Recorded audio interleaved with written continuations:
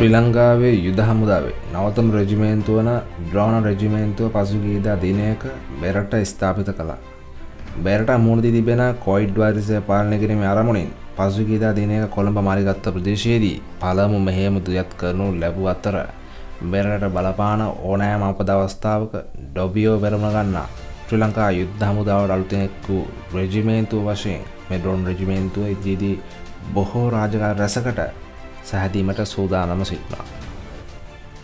ශ්‍රී ලංකා යුද හමුදාවේ පාලසන රජිමේන්තුව ලෙස කාලතුවක්කු හමුදාවට එසෙත් නොපති නම් එසෙල්ලේකට අනියුක්තව ඉදිරිදී සුවිශේෂී මෙහවරක් ඉටු කරනවා ඔබට මට දැකීමට හැකිවනවා.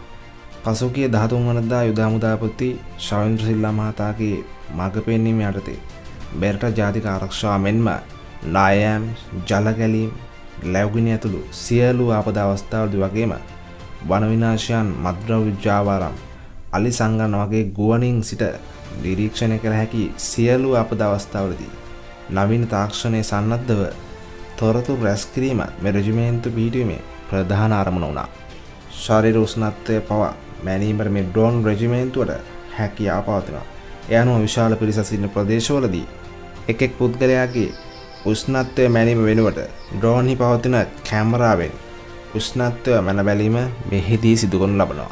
භාතෘභූමිය රුදුරු කොටි ත්‍රස්තයන්ගේ පෙරා ගැනීමට ප්‍රබල වේසක් දැරු ශ්‍රී ලංකා යුද්ධ හමුදාවට ඩොදුරු අනාගතයේදී ඇතිවෙන ඕනෑම ව්‍යසනයකට සැහැදීමට දවමෝ ඩ්‍රෝන රජිමෙන්තුවට හැකියාව ලැබේවා කියලා අපි දැස්සෑගෙන බලාගෙන සිටිමු.